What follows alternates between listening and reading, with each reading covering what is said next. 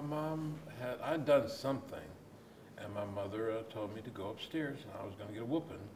And she didn't give us whoopings with our clothes on, we had to take them off. And I was worried about the whooping and getting beat, and uh, I was gonna try and escape or get away some kind of way, and I devised a way to make a parachute out of a, a sheet.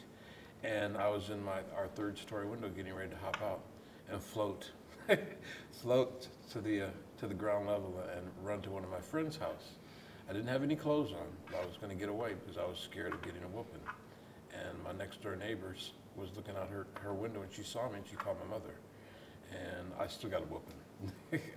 but I didn't jump and I didn't cause harm to myself. And, and my mother told it to folks, you know, when they came over for Christmas or Thanksgiving, you know, their her Christmas or Thanksgiving story.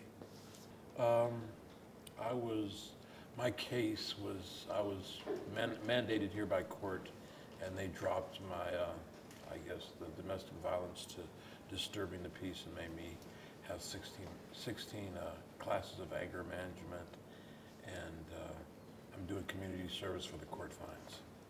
Very early, a lot of people knew that I was going to be gay, and I was jumped on quite a bit when I was little. I, I learned to run fast. Um, the bullies, and, and I, I was overachiever because I had to do better other people so that I wasn't ostracized or ridiculed. And,